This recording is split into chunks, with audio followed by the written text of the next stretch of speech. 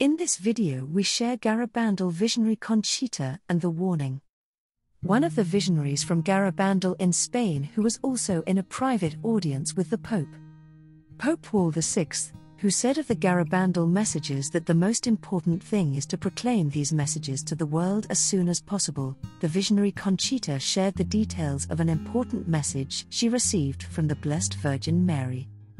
It is a message that announces an event that will affect the whole world, all people, and from which no one will be able to escape. It will be so strong that some people will not survive it. It's a warning. January 1, 1965, Our Lady told me during the apparition that a warning would be given to the whole world before miracles so that the world could change. It will come directly from God and will be visible throughout the world. No one can escape Him. We will feel it physically and internally. Warning is like punishment, frightening for good and evil. It will be like the revelation of our sins. We will see the consequences of the sins we have committed. God will send a warning to cleanse us so that we can better appreciate the miracle by which He clearly proves His love for us. Warning will bring good closer to God and warn evil that the end of time is coming. It will be like fire. It will not burn our body, but we will feel it in our conscience. He will bring good closer to God and warn the wicked that the end of time is coming, which should not be confused with the end of the world. Also, these are the last warnings. No one can stop this from happening. It is safe, although I know nothing about the day or date. Furthermore, the seer says, the warning will be like the revelation of our sins. We will see the consequences of the sins we have committed. Warning is something supernatural and science will not explain it.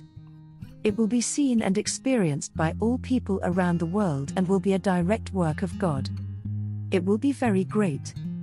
However, if people die from it, it will only be from emotional shock when they see it.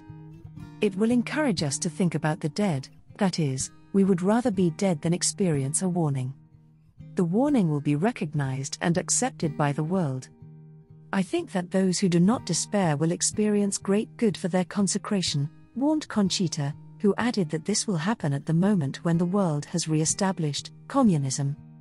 Interesting, but visionary Conchita is just one in a series of prophets and mystics announcing this great event for all of humanity. The following saints warned of the warning that will strike every soul in the world Saint Edmund Campion, Blessed Anna Maria Taigi, Blessed Pope Pius IX, Saint Faustina Kowalska, Father Stefano Gobbi, servant of God Maria Esperanza, Father Michel Rodriguez, and many others in numerous apparitions around the world.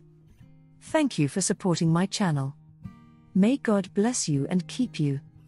Our Lady, Queen of Peace, pray for us.